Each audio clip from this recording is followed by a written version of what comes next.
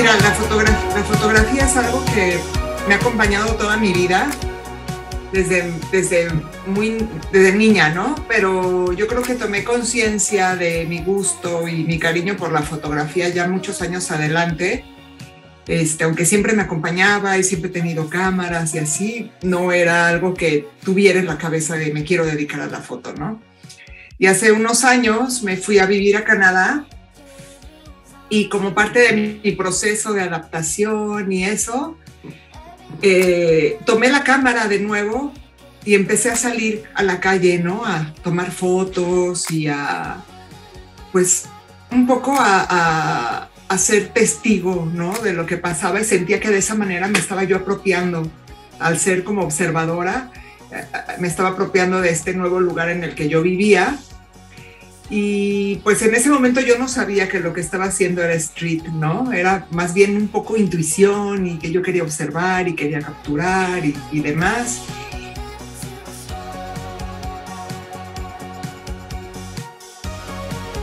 La pandemia me puso ante esa situación y quería mantenerme creativa y estar haciendo algo y surgió este proyecto que para mí fue como muy revelador no solo por la parte del autorretrato, sino porque fui dándome cuenta de que el proceso que yo seguía en la calle, pues en, casa era un poco parecido, ¿no? Eh, ir como quitando capas para ir de un tipo de fotografía a algo como más significativo o con, no sé, entonces fue un proceso como de lo que yo viví en la calle, ¿no? De primero empezar a tomar ciertas cosas y después ir subiendo el nivel de complejidad. Con la cuarentena en cuarentena fue un poco igual, ¿no? Empecé con cosas muy obvias y después empecé a, a, subir el nivel de complejidad de, de las fotos.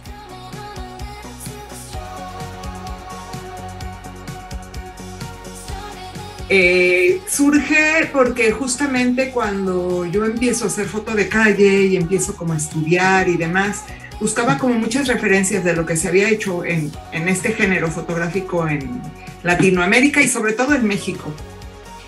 Y encontré como pocas y muy desperdigadas y veía que había muy poca visibilidad de, de la, de la fotografía de calle eh, latinoamericana en el mundo, ¿no? Como que veía los resultados de los concursos, los libros, las referencias que te dan y siempre eran de otros lados. Y cuando busqué aquí, pues encontré como mucho talento y me parecía como extraño que no hubiera nada, ¿no? O que, o que hubiera como muy pocas comunidades como tal, ¿no?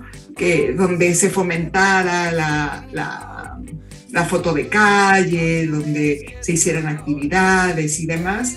Y pensé que, bueno, que, que era importante crear como esta vitrina y esta comunidad para que todos los que practicamos eh, foto de calle, pues, eh, eh, pues estuviéramos en contacto y estuviéramos como compartiendo esta pasión.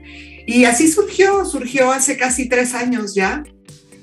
Eh, observadores urbanos eh, en 2019, a mediados de 2019, y justamente con la misión de ser eh, una comunidad donde se le dé visibilidad a la gente que practica foto de calle, donde se haga escuela en foto de calle y se organicen actividades alrededor de este género fotográfico.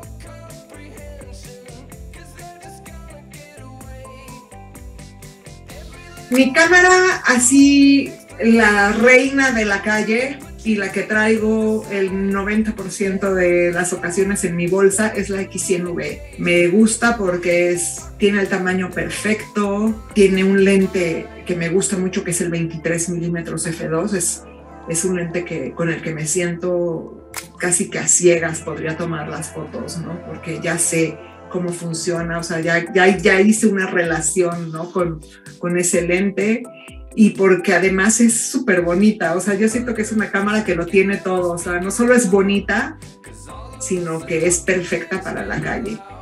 Y bueno, la XT4 también es una gran compañera porque es casi siempre, más bien es siempre la que llevo a viajes, porque tampoco cargo con las dos cámaras todo el tiempo y porque le puedo estar cambiando los lentes. Entonces ahí sí llevo el 23 milímetros, que es como que con el que más estoy acostumbrada.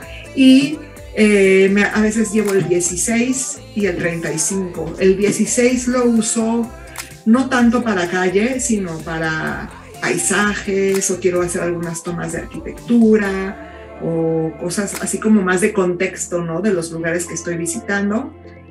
Y el 35 me gusta mucho, me gusta muchísimo para calle y sobre todo para hacer calle en la noche. O sí, por alguna razón siento que hace como un, crea un ambiente como más íntimo, eh, da una cercanía especial y me gusta mucho hacerlo en la noche, porque en la noche perdemos mucho detalle. Eh, y, y, siento que con el 35 eh, se, se, crea otro tipo como de intimidad con el escenario, ¿no?